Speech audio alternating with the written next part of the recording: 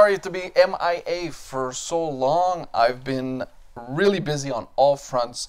Um, as you might notice, the room's changed again. So I've been not just busy with my real job and busy with family. Um, I had to travel a little bit, but I've also been busy in hi-fi.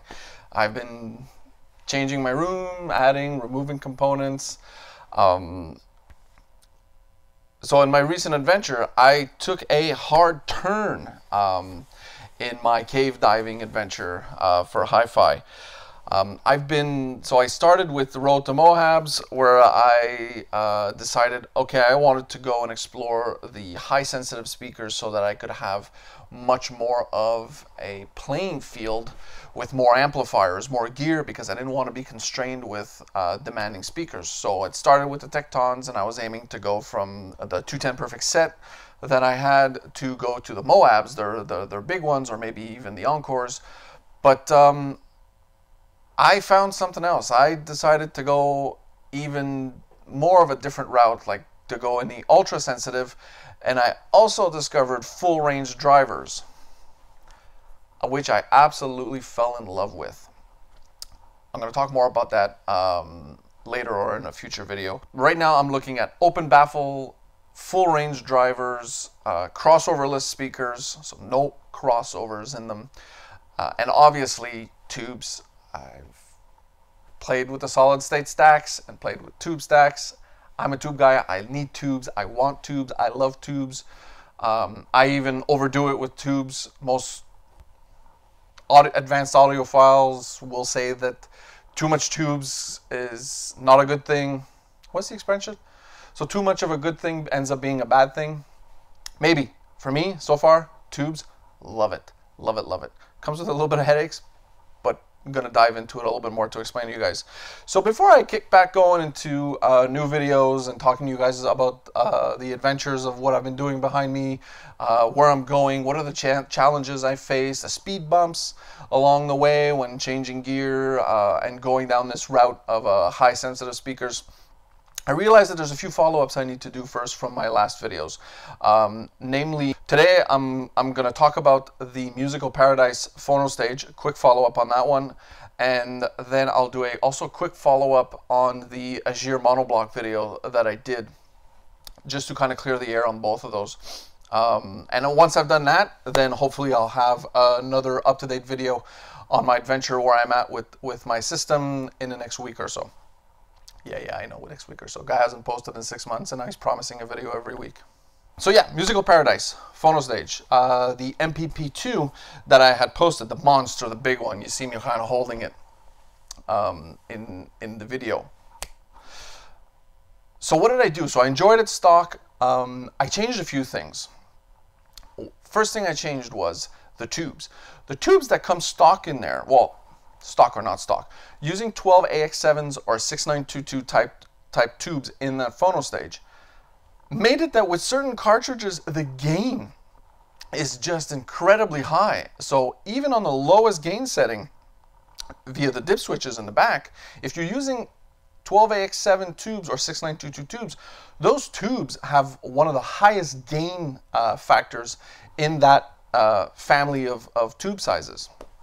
So even by lowering the dip switches to make the, the, the gain as low as possible, at times and on some recordings with some records, it was still felt too high. Like you ended up getting a little bit of an edginess on top and you would you would actually end up with a thinner sound because there was too much gain. So to fix that, then you have a whole choice of tubes you can go in that in that same family, in the ECC 8 family, I guess I think it's called. I'm not sure, but I'll, I'll write I'll write it down written down here to specify what kind of tubes. Um, you have a lot of choices. You can go all the way down in the gain factor and use 12AU7s, but that, from from what I understood, that's like 30% of the gain of what a 12AX7 is, which is really low. Then I'm not, I didn't do that because I was worried that now even on the highest gain setting, it wouldn't be enough. But you have a 12AT7 tube that seemed to me like to be like the sweet spot. And with the cartridge that I had, it was a sweet spot. So by changing the four, yeah, four um, 12AX7 tubes that I had in the phono stage by four 12AT7s. Now, I didn't go crazy with the 12AT7s. You could if you wanted to. There's a slew of great tubes out there. There's great uh, new old stock that you can get your hands on that would just make this uh, phono stage skyrocket in performance. But I just used 12AT7s from uh, the um, Shuguang um, Natural Series. Easy, easy to find. Uh, they come in a nice little box. Um, not too expensive. And wow, it did the trick. It, it controlled the gain. Did it do anything else as far as sonic characteristics? A little.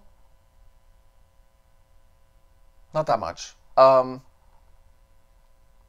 it did a little bit, but not enough for me to say, "Oh wow, you you, you gotta you, you gotta roll these tubes that added something incredible." No, had I put in like a set of uh, new old stock gold pin Mullards 12 AT7s, yeah, that might have been a different story. That might have added some warmth.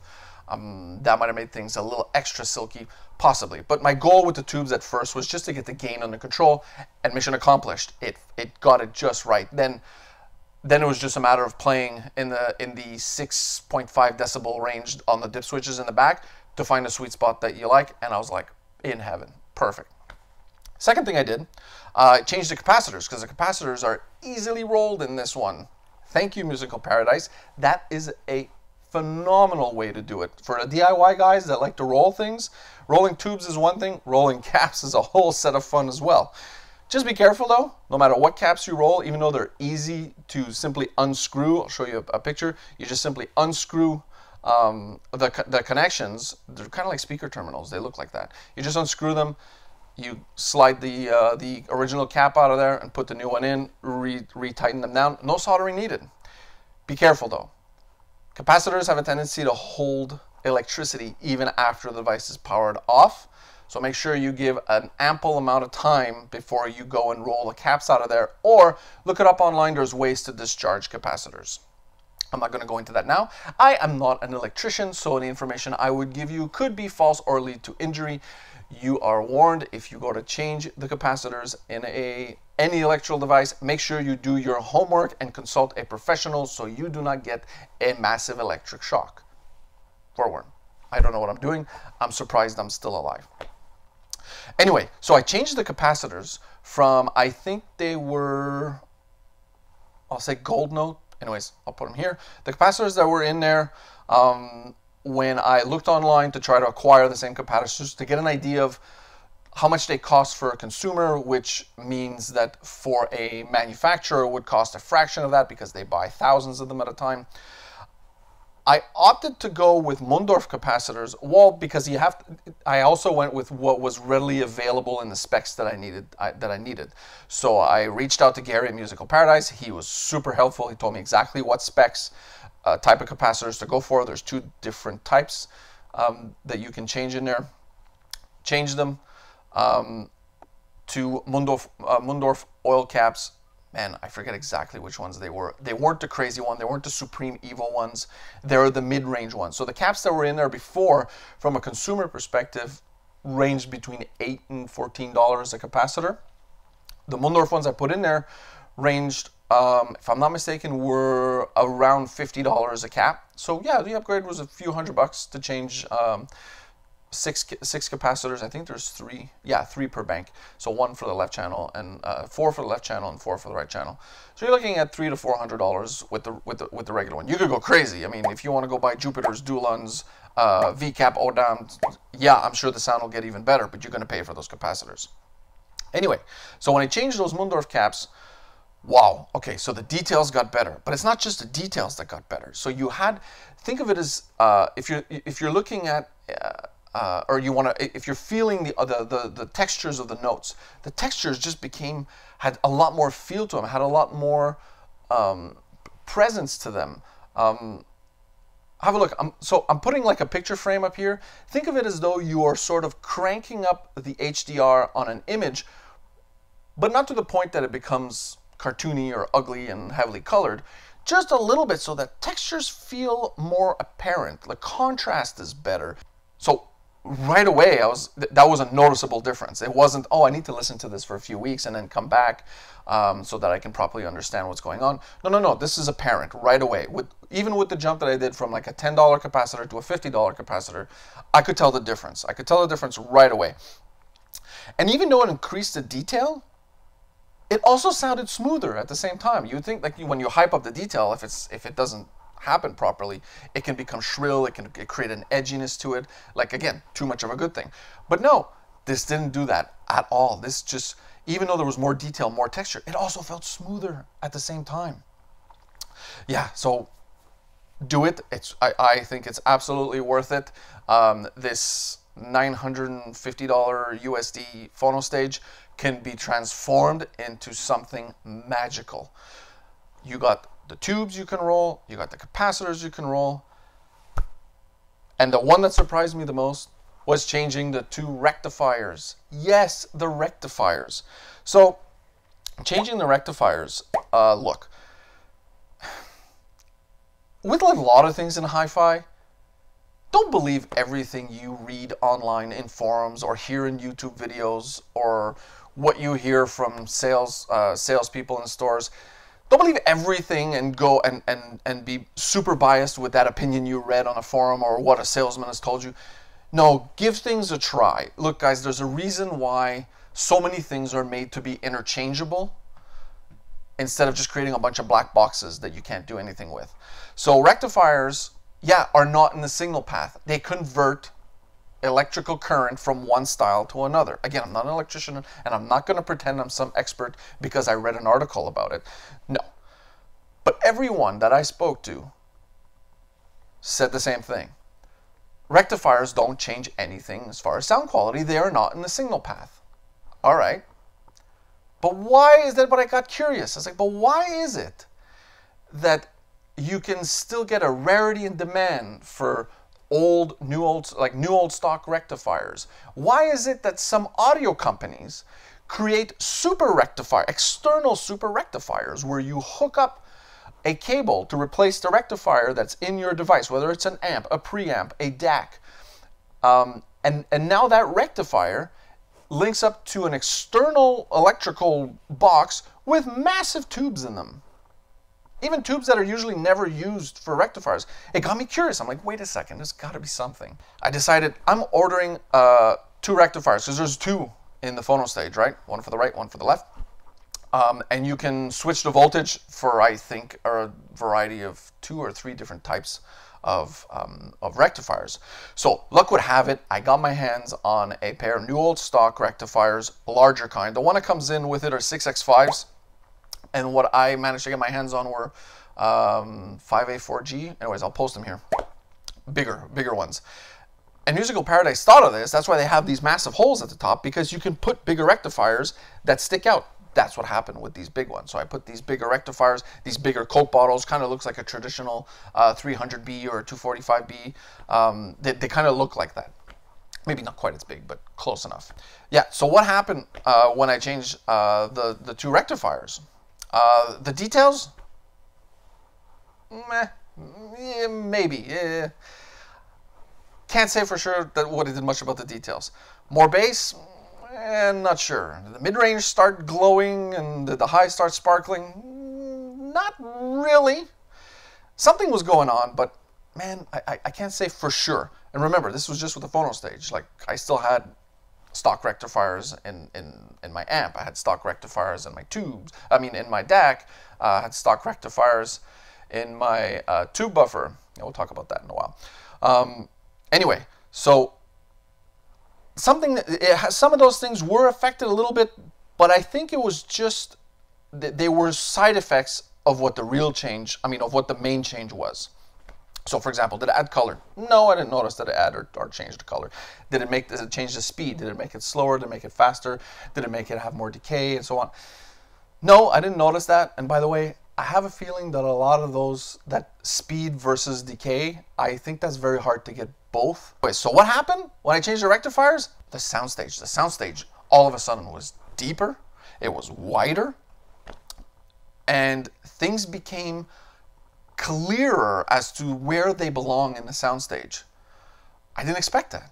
I didn't expect that. But man, was I happy because the new old stock rectifiers weren't cheap. Um, I'll give you an example of what happened. For those of you that are familiar with the Roger Waters album, uh, Amused to Death, right here. Track number six, which is called uh, Late Home Tonight, part one, I think.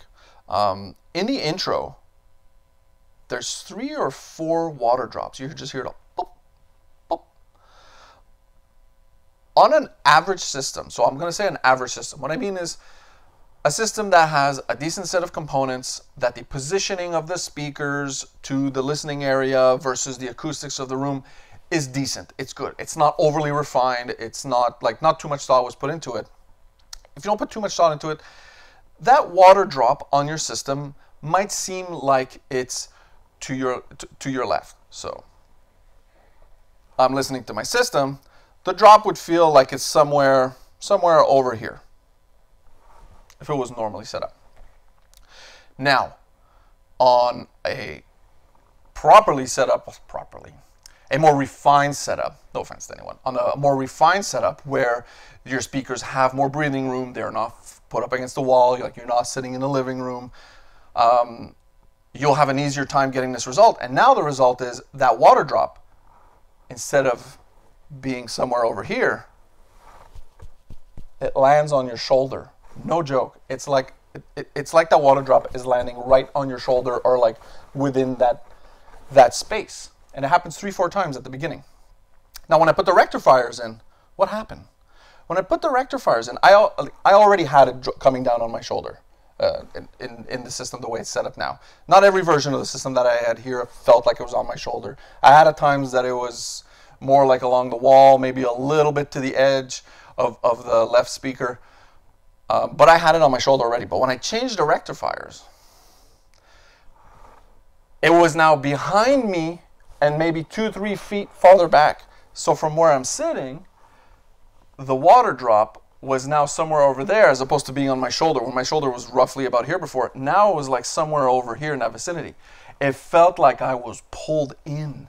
I was literally pulled into the music where everything, and everything felt like it had a place and it was not just in front of me. There were things behind me now. But anyways, use this water drop as a, it's a great reference to test soundstage. It really is.